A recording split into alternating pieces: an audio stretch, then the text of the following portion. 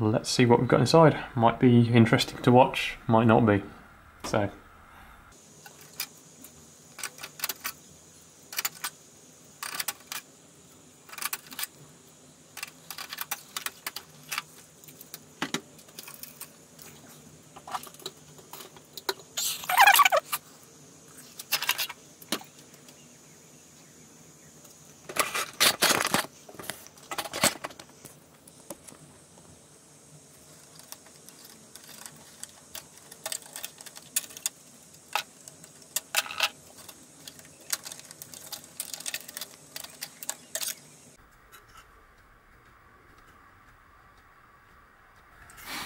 So I'm going to be replacing this PERC 6i with a H200 um, and the cables of course because these are proprietary for this particular card. What I might do is I might put this in my my other uh, server machine as a bit of a, a muck around and uh, yeah use this as a RAID array card and then I can use the H200 in here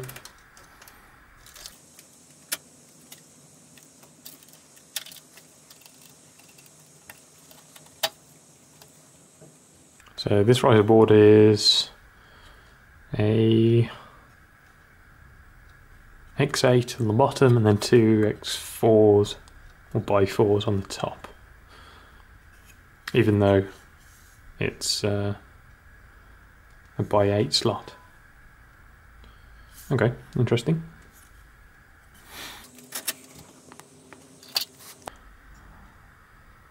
And this riser is a little bit more interesting as it's just got the two by eight slots and also the intruder switch. Um, I've seen videos of people modifying these slots and taking the ends of them out um, or opening them up so you can put a by 16 card in there like a, a GPU or something. Um, or if you don't fancy doing that you can get a replacement riser board which just is by 16 to by 16.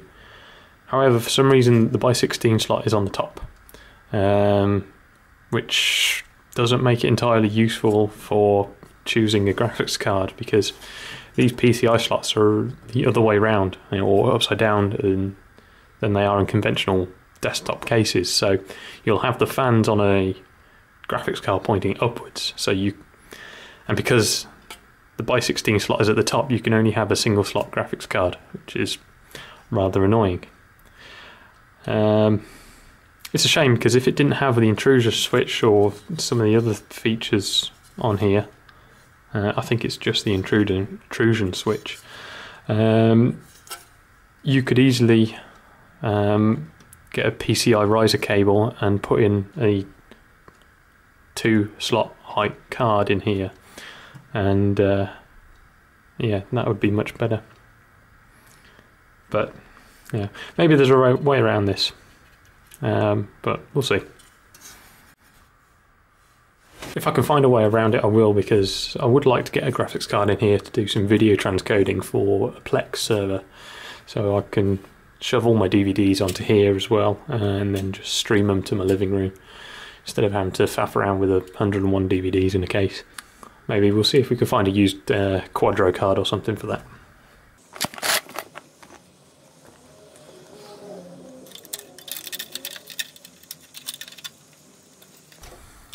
So that's the backup battery for the RAID.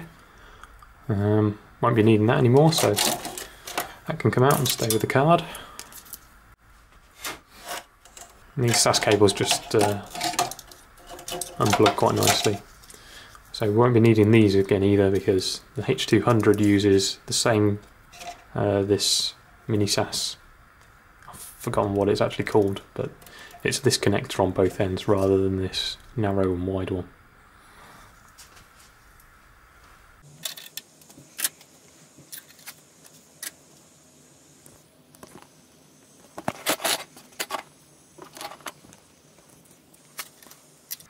One thing I do like about this is how easy it is to take the heat sinks off.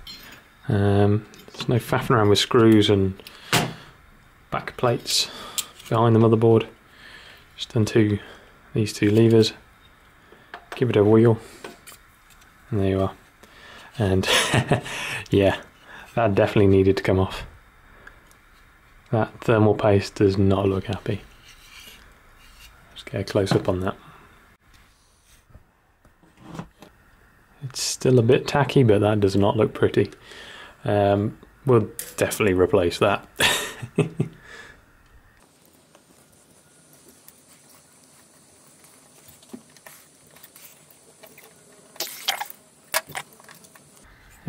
Same story on this one. I think it's um, it looks like it hasn't got enough thermal compound, and whatever was on there uh, yeah, the the silicon and the other things in it have separated, and it doesn't look too happy. But uh, yeah, there's a fair chunk of a passive cooler that.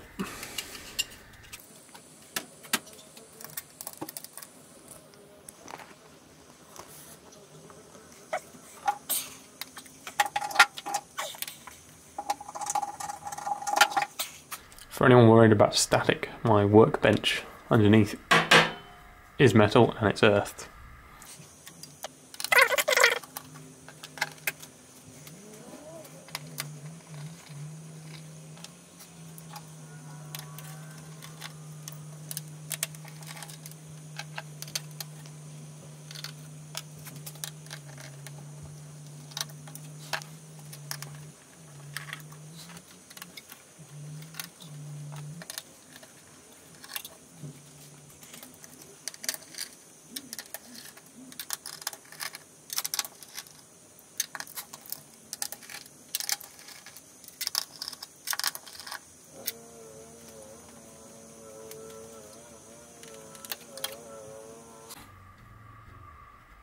So that's the iDRAC interface port.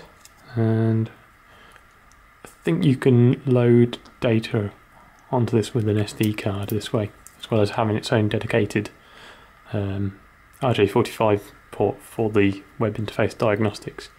You can run it through the integrated NIC on the back here, but I think I've, because I've got a switch now, I'm going to uh, run a dedicated line into this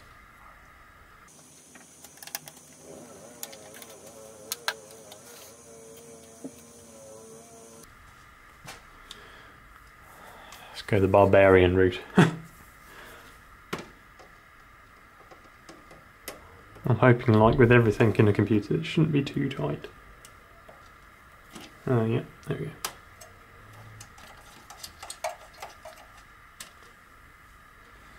Yeah, just as I thought.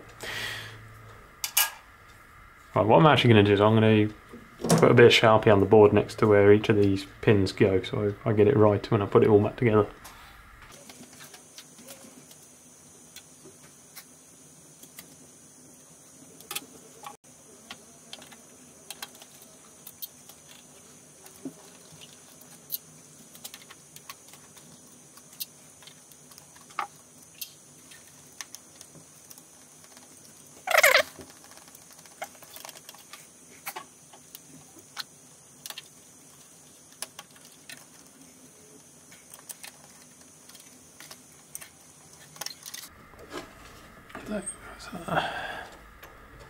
Uh,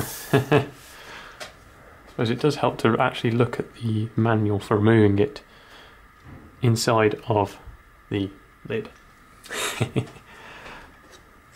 so pull that up.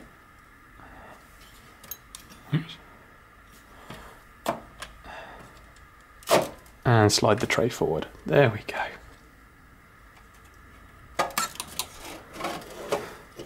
That makes a lot of sense. So now the motherboard comes out on its tray.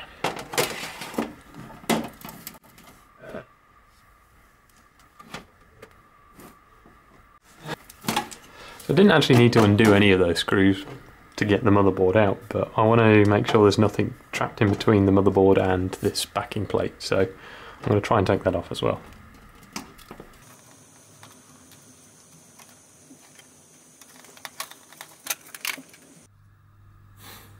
Okay, so what I found was I had to do the thing I didn't really want to do. I had to remove these uh, socket cages as they were screwed into the back uh, metal board underneath instead of just having like a backing plate uh, on it like consumer motherboards have. Um, I didn't want to take them off because I, I didn't really want to disturb the chips too much because they are pin grid arrays. But just doing it carefully and slowly and releasing the lever on the socket frame before you start unscrewing it made things a lot easier. But now it just uh, comes out. So lift it up to this end and sort of carefully slide it forward because it is um, retained with a little finger at this end. And yeah, there we go. And voila. Unfortunately, I don't have any of those plastic socket covers, so to have a good inspect of the underside, I'm just going to very carefully take these out.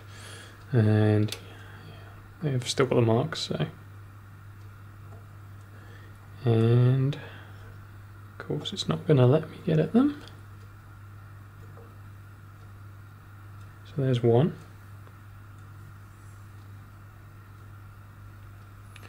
Something nice to put this down on.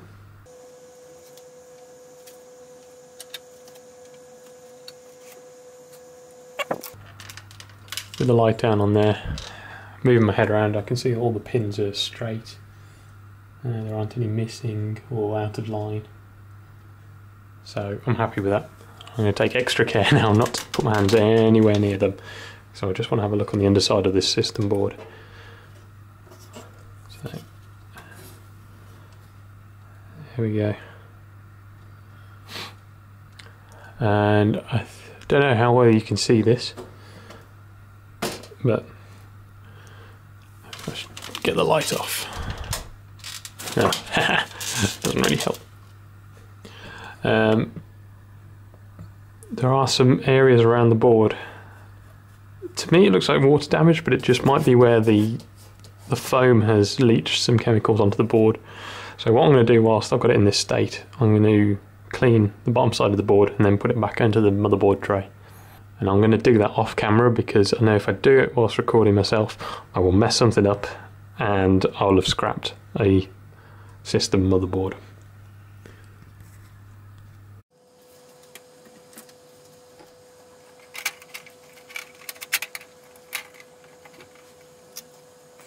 Whilst I had these off, I actually took the chance to uh, clean them up.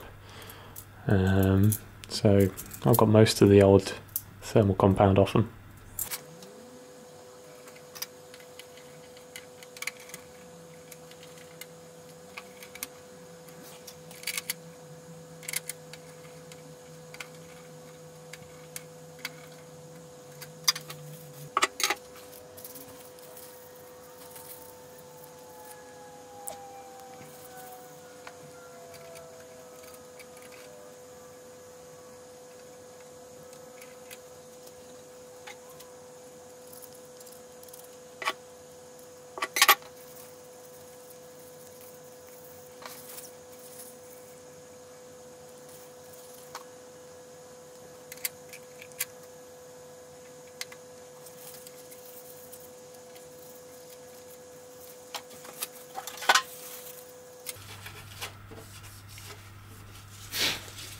Now I don't have any alcohol or a silicon based compound remover so I'm using automotive body panel wipe which is a fast evaporating uh, fluid. It doesn't leave any residues behind. It's used in the car paint industry to leave a pristine and oil and gunk free surface ready for paint because uh, obviously you want paint to stick, so this stuff works a treat.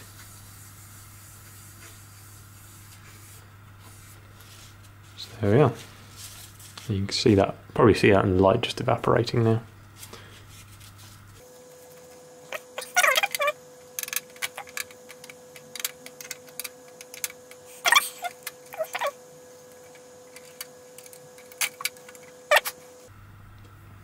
Now I'm just going to put all the standoff posts and the screws back in, which for just moving, removing the motherboard with the tray, I didn't need to do now in hindsight. But for what I wanted to do and get in between the PCB and the tray itself to clean out some of the other gunk, um, that was absolutely needed. And I managed to uh, get off the spill out of the thermal compound that was on around these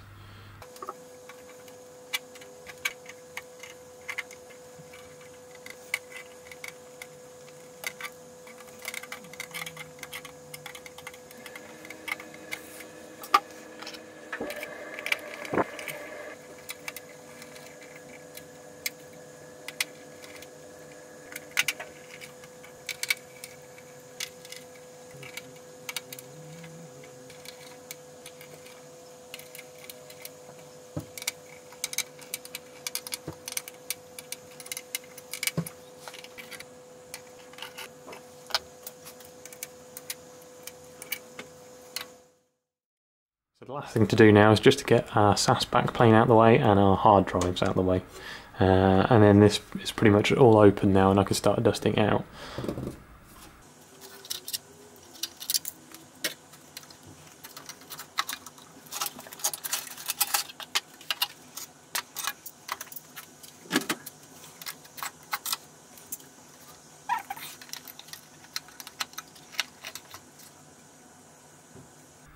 I am very fond of how modular everything is in this server. Mmm, gross.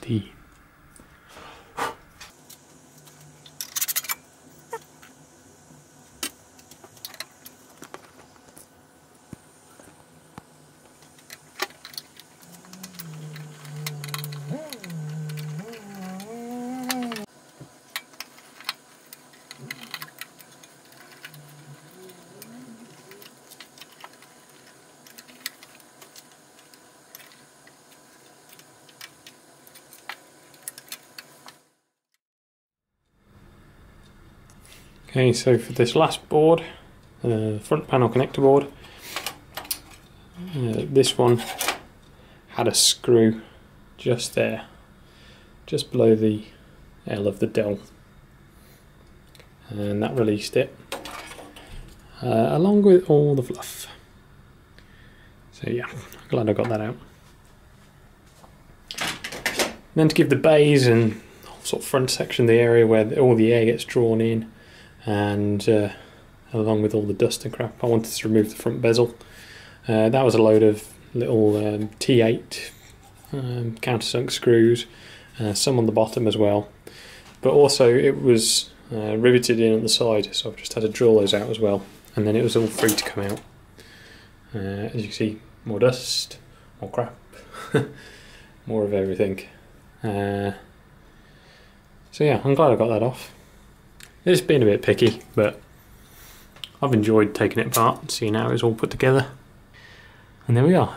Uh, I'm not going to take it apart anymore, any further than this, because uh, it's all riveted together now. So, uh, I and I can get at it fairly well. So, I'm going to completely clean it all down, put it back together, and then I will see you in the next video where we'll put in that H200 card and start setting up FreeNAS or true TrueNAS.